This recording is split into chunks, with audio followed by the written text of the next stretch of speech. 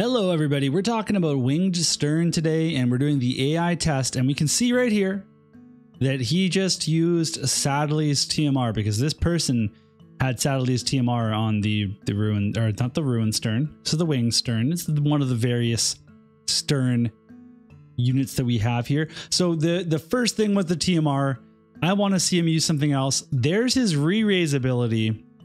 And now this this test isn't going to work out because guess what? This person turned off all his other skills.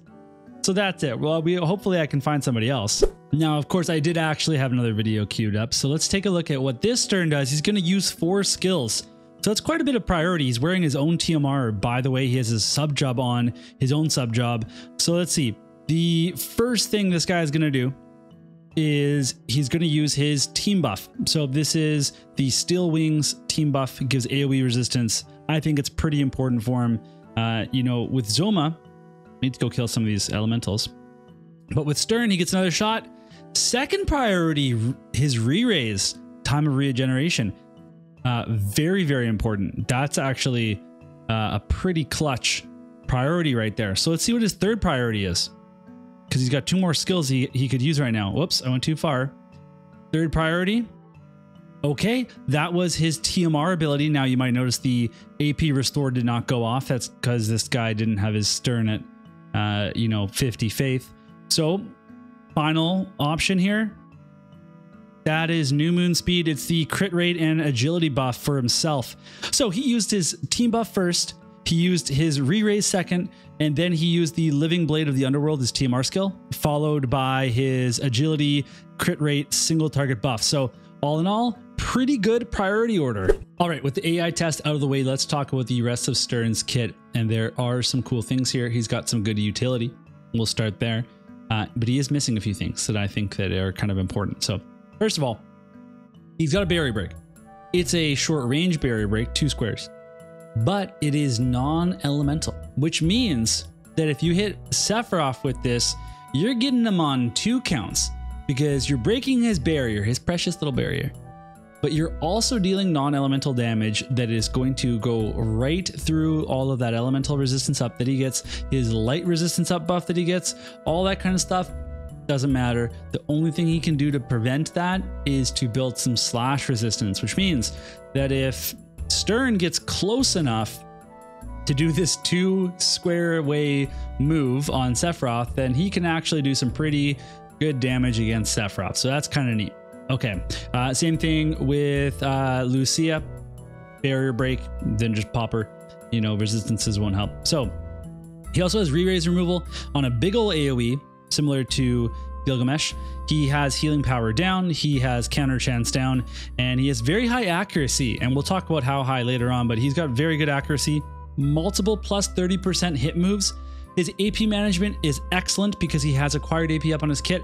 He has AP consumption down 10% on his kit, and then his farmable sword will also give him another 15% AP consumption down. So it's 25% total. It means that you can build some good builds without some AP restores if you really need to.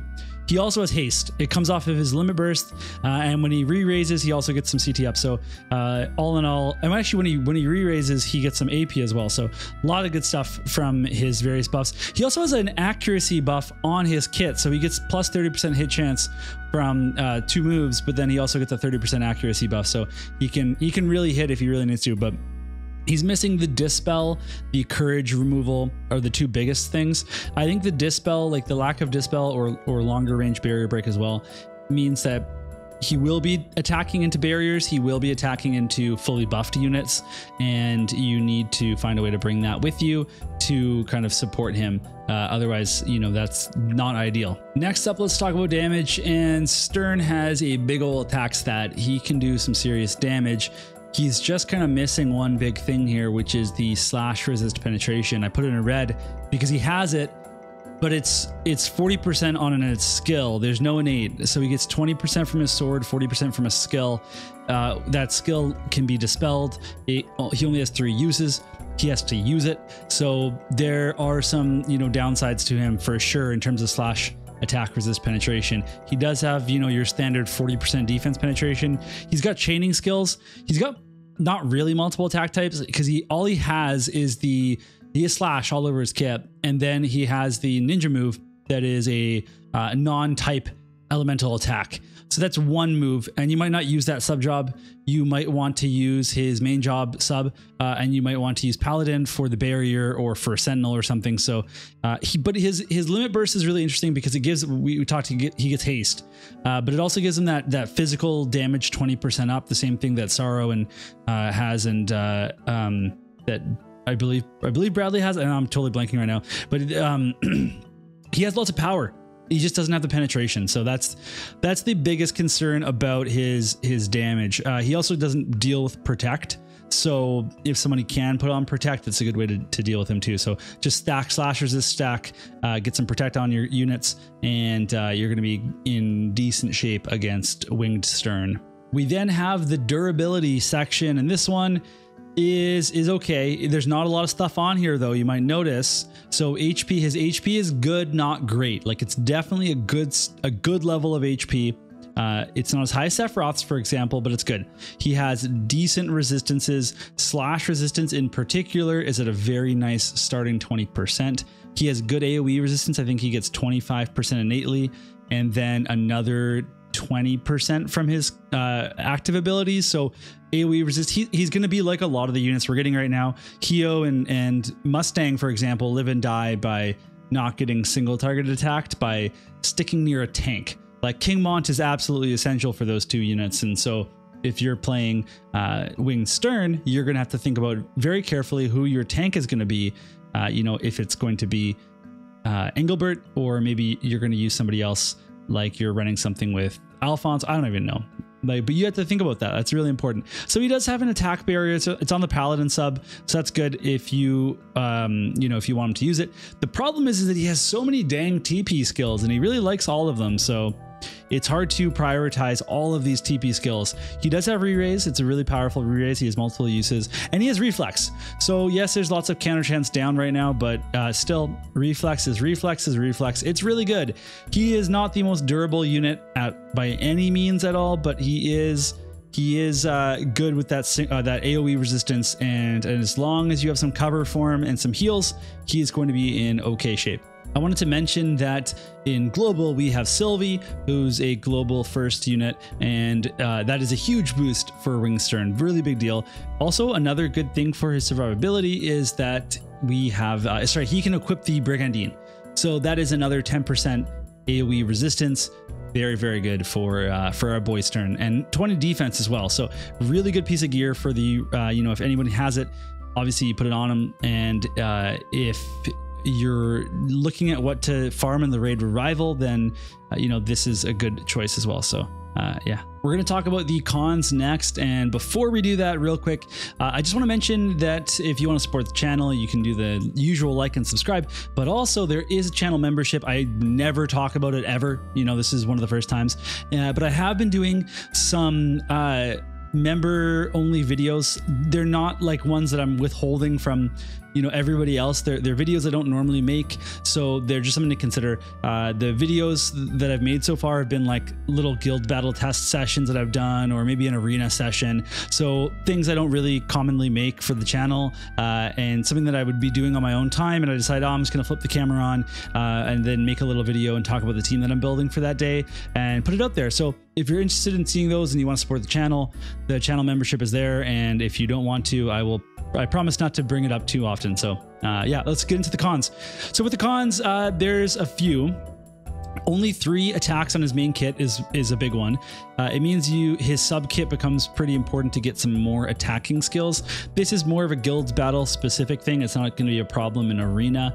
Uh, the no innate slash pen is obviously a con, and the the limit burst being super freaking good, but only having the one use for guild battle again a con uh, when you tie such a, a, key part of the kit in my eyes to a limit burst that's a big deal. The barrier break is super strong as we talked about but the range is very very low which means and because some of his aoes are so big he has multiple big aoes like uh, gigantic aoes it means that he can hit people i think five or six squares away so that you know when when people are approaching he's not going to use his barrier break on them and he will have to attack into barriers. So just something to consider uh, you know for uh, for this guy, if you're going to be pulling for him, that there are some limitations for him. We can do the comparison as well. This is the same one I used last week. I just put winged Sterne at the at the top there, and he's he, he compares to King Bradley and Sephiroth, two of our most recent 100 cost units. You know, not too favorably. I think both King Bradley and Sephiroth are better units than than Sterne is. Sterne's got the power, he's got the accuracy, and he's got the best slash resist of all of them. But you know, other than that, I think that the other two, you know, bring a lot more utility to their kits and they bring more survivability. Um, Sterne has overall good stats, like you can't fault them there. Like he's a he's a 100 cost unit. I just think that he's not quite as powerful as other 100 cost uh, units. He doesn't have the penetration that Bradley has, for example. He doesn't have the survivability of Sephiroth with his elemental resistances. Uh, but he is he is good to take on Sephiroth if you support him because of uh, that barrier break. So something to keep in mind. Let's talk about some of the equipment for Sterne. He has a TMR. I actually really like this. It's an armor with some okay stats, but the the effect here is two use, single target, increase human killer 25%, for physical attacks and then auto restore 5%. So this is really good in PvP um, to get an auto restore, but also an offensive boost. To be able to combine those two things is very powerful. And with the support that we have for acquired AP up and the uh, amount of in-house in-kit uh, AP consumption down and stuff that we're seeing, this is, you know, usable over bells for some units. And, you know, if, if I were to ever get this, I'd be pretty happy with it, but it's not so good that, you know, you should be pulling for him or anything just for the TMR. We can also talk about his sword. It's really good for him and for, well, kind of for a few other units, but at the same time, I don't know if those those units need it because they're like all tanky type units here. But the, the sword has uh, spe specific effects, some human killer form, and then AP consumption down 15 and slash attack penetration. Now, because this is a penetration sword, it's absolutely absolutely a must equipped equipped for him. There are other good swords, like for example, the Warrior of Light sword plus six has so much light attack and stuff on it. That's pretty interesting, but I I still think this is just too important for Sterne, and it's actually going to be a really good weapon for a lot of new players to farm in general to get a slash attack resist pen sword uh, for their account because I think the last one was the engine blade from the Final Fantasy 15 collaboration. So this is a good chance to get it.